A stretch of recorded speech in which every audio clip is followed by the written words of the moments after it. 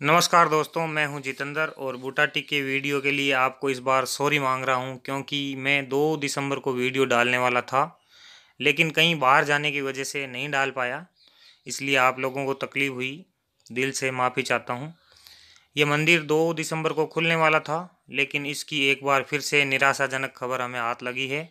अब इसको इकतीस दिसंबर तक बंद कर दिया गया है, यानी कि इस साल अब ये मंदिर नहीं खुलेगा। ये मंदिर अगले साल 2021 में खुलेगा या नहीं खुलेगा, इसकी जानकारी हम एक जनवरी को दे पाएँगे। तब तक के लिए हम वही वीडियो शूट करते हैं, बाहर खड़े होके, क्योंकि मंदिर का जो मुख्य द्वार है, ये तो बंद है। यहाँ भभूति रखी हुई है, प्रसाद रखा हुआ है तो भक्त यहीं से सब कुछ कर रहे हैं।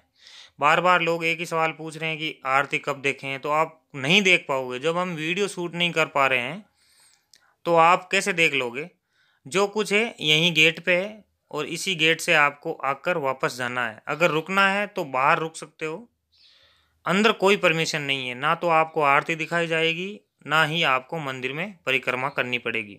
तो मिलेंगे एक जनवरी को नए वीडियो के साथ। तब तक के लिए अपना ध्यान रखिएगा। जय चतुर्दास जी महाराज, जय बुटाटी धाम।